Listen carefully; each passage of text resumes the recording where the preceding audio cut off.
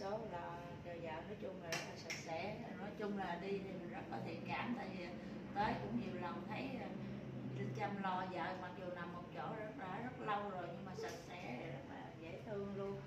À, Quyên cũng mới uh, tới bữa bảy tám gì đây mới lên nhà xong bữa nay là chị đã nằm bệnh viện rồi thì cả nhà mình uh, ai mà thấy giúp được cái hoàn cảnh do chị không có không có không hộ khẩu gì hết nên không có xin mua được cái bảo hiểm không có xin được cái bảo hiểm luôn.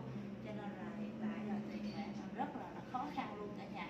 Bây giờ ai mà có ủng hộ thì à, gửi à, gửi trực tiếp vào cái cái cái like này cũng được. Hoặc là vô cái à, cái à, ừm, hoặc là Quyên sẽ sẽ chỉ trực tiếp của mình là mình lên lầu 8 khoa nội tiết ha.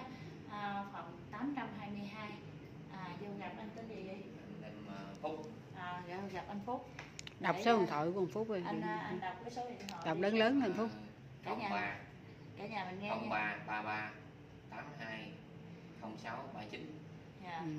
để cái nhà mình à, thấy đó thì à, cái cái nếu mà mình muốn gặp trực tiếp thì mình vô bệnh viện nha rồi nghe theo cái số điện thoại này rồi à, mình gặp trực tiếp để mình gửi chút đỉnh cho kết thúc mẹ nó rồi Trời đó, nó À, sẽ à, đi lên gặp à, anh Phúc trực tiếp hoặc là nhắn ờ, cho Quyên vào trong bài này luôn ha.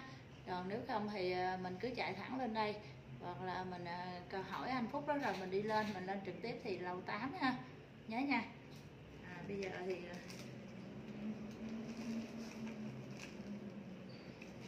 giờ mình mình cũng thương cái hoàn cảnh này lý do là ở nhà trọ cả nhà mà không có con cái gì hết có hai con có đứa con bị tai nạn chứ. mất rồi. Thì Ừ. đúng là hơi giờ là không có cái rồi. À, cho nên là hai chồng cũng rất là khó khăn khăn trong cái ờ, sự sống hàng ngày. Bây giờ do anh ở nuôi chị vậy là giờ mình giờ anh đâu có đi làm gì ra tiền được nữa.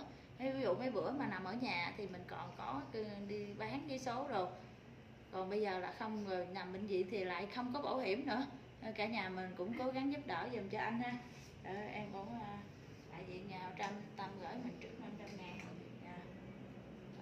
thì mình cứ cố gắng ha. Rồi nè cầm chị đi cái này chị gửi tiếp. Rồi hôm nay à, 8 tây 8 tây tháng 3 2024 vừa rồi Linh cũng lên về cũng đại diện mạnh thường quân trao rồi ha. Rồi bây giờ Linh xin lần thứ hai tới bệnh viện.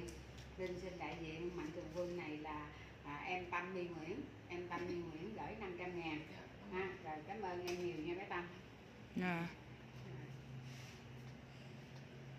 à, nếu mà có nhận được thì chị trở lại nữa. Dạ. Rồi hai bé bay